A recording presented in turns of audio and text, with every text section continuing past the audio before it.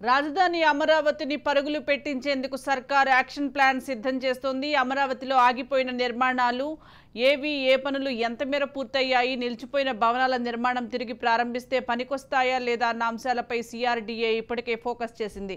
తాజాగా అమరావతికి సంబంధించి అన్ని నివేదికలు తెప్పించుకున్న సీఎం కీలక మీటింగ్ నిర్వహించారు.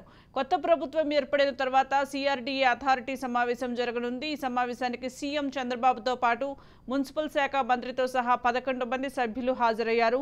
అమరావతికి ఐఐటి నిపుణులు గతంలో నిలిచిపోయిన భూ సేకరణ కొత్తగా అప్లై చేసుకున్న కంపెనీలకు భూ కేటాయింపులు కేంద్ర ప్రభుత్వం ఇటీవల ప్రకటించిన పదిహేను వేల కోట్ల ఫండ్ ఖర్చుకు ఇచ్చిన విధి విధానాలతో పాటు విధానపరమైన నిర్ణయాలు తీసుకునే అవకాశం ఉంది. నిర్మాణాల స- విషయంలో సీఎం అక్కడికక్కడే సూచనలు చేసే వీలుందని తెలుస్తోంది. ఎట్టి పరిస్థితుల్లోనూ అమరావతి నుండి అన్ని కార్యకలాపాలు జరిగేలా శాశ్వత నిర్మాణాలను టైం బాండ్ పెట్టి పనులు చేయించాలని సీఎం ఇప్పటికే సిఆర్డీఏకు సూచించారు. అవసరం అయితే సిఆర్డీఏలో ఉద్యోగుల సంఖ్యను కూడా పెంచే అవకాశం కూడా కనిపిస్తోంది. దీనికి సంబంధించి మరింత సమాచారం మా ప్రతినిధి యశ్వంత్ అందిస్తారు. యశ్వంత్ చెప్పండి అమరావతి రాజధాని నిర్మాణానికి సంబంధించి త్వరితగతిన పూర్తి చేసేందుకు యాక్షన్ ప్లాన్ సిద్ధం చేస్తున్నట్లుగా తెలుస్తోంది. అప్డేట్స్ ఏంటి? రైట్ ఇవాళ రాష్ట్రంలో ఉన్నటువంటి ఆంధ్ర రాష్ట్రానికి చెందిన రాజధాని ఏదైతే ఉందో అమరావతి ప్రాంతానికి ఈ రోజు ఐటీ బృందాలు కూడా తనిఖీలు చేయడానికి వచ్చాయి. దాంట్లో చూసినట్టుగా ప్రధానంగా హైదరాబాద్ చెందిన ఐటీ బృందం ఒకటి కావచ్చు తర్వాత బెంగళూరు చెందిన ఒక ఐటీ బృందం కూడా ఇవాళ ఏదైతే అమరావతి ప్రాంతంలో నిర్మాణం చేపట్టారో ఇటు ఎమ్మెల్యే కోటర్స్ కానివచ్చు మంత్రుల కోటర్స్ కానివచ్చు అదేవిధంగా ఆంధ్రప్రదేశ్కి సంబంధించిన హైకోర్టుకి సంబంధించిన న్యాయమూర్తులకు సంబంధించి ఏవైతే గెస్ట్ హౌస్లు ఉన్నాయో వాటికి సంబంధించిన ప్యాలెస్లను కూడా గతంలో నిర్మించిన వాటిని ఏదైతే అంతవాటికి ఉన్నాయో ఈ ప్రస్తుతం ఉన్న విధానాలపై కూడా అంతా తనిఖీలు చేసేందుకు అయితే మాత్రం ఇవాళ ఐటీ బృందాలు అయితే తనిఖీలు చేయబోయేదని చెప్పుకోవచ్చు ఈ ప్రస్తుతం ఉన్న కూటమి ప్రభుత్వం అదేవిధంగా చంద్రబాబు అమరావతి రాజధానిని శాశ్వతంగా నిర్మించేందుకైతే మాత్రం ప్రత్యేకమైన శ్రద్ధలు చేపించారని చెప్పుకోవచ్చు. దీనికే అమరావతిలో ఇప్పటి వరకు ఏదైతే రెండు వేల పద్నాలుగు నుంచి రెండు వేల పంతొమ్మిది వరకు అప్పుడు ముఖ్యమంత్రిగా ఉన్న చంద్రబాబు నాయుడు ఏదైతే నిర్మించారో ఆంధ్రప్రదేశ్కు సంబంధించిన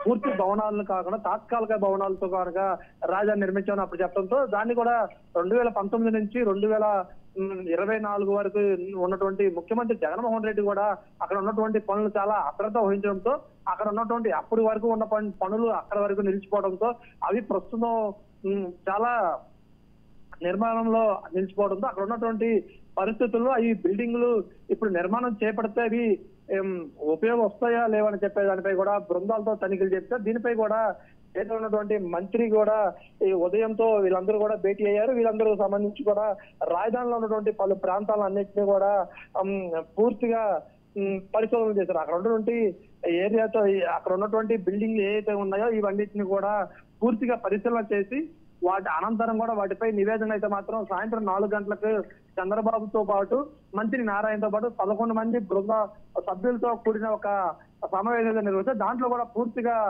విచారణ చేపట్టారు. దీనిపై ఇప్పుడు ప్రస్తుతం ఆంధ్రప్రదేశ్లో ఉన్నటువంటి రాజధానిలో ఉన్నటువంటి ఏదైతే నిర్మాణాలు మధ్యలో నిలిపోయినటువంటి ఏదైతే భవనాలు కానివచ్చు టవర్లు కానివచ్చు వీటన్నిటి ప్రస్తుతం ఎలా ఉన్నాయి ఏంటి అనే విధానాలపై కూడా చంద్రబాబు గారా తీశారు. వాటిపై కూడా పూర్తిగా కన్స్ట్రక్షన్ చేయాల్సిన పరిస్థితి ఉందా లేదా అవన్నింటిని తొలగించి మళ్ళీ మొదటిగా నుంచి ఎత్తుకొని స్వాస్థ స్వస్థమైన బిల్డింగ్లు నిర్మాణం చేపట్టాలి దానిపై కూడా పూర్తి నివేదన అయితే చంద్రబాబుకి అయితే అందజేశారు దీనిపై కూడా మరోసారి చంద్రబాబు పూర్తిగా లేదని తీసుకున్న తర్వాత యాక్షన్ ప్లాన్ ఏంటి అనేది మాత్రం అయితే చంద్రబాబు చేపట్టిన దీనిపై తర్వాత చూసినట్టయితే మాత్రం ఇప్పటికే చంద్రబాబు మాత్రం పూర్తిగా ఆంధ్ర ఆంధ్రప్రదేశ్ రాజధానిని మాత్రం అమరావతిలోనే నిర్మించాలని చెప్పేది మాత్రం పూర్తి పట్టుదలతో ఉన్నారు.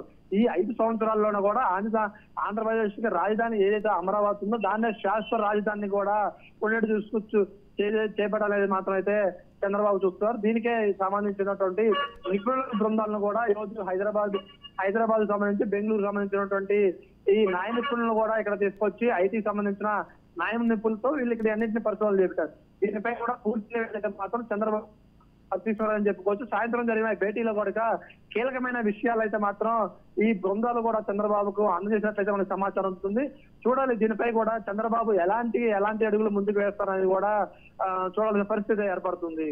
Right thank you Yashwant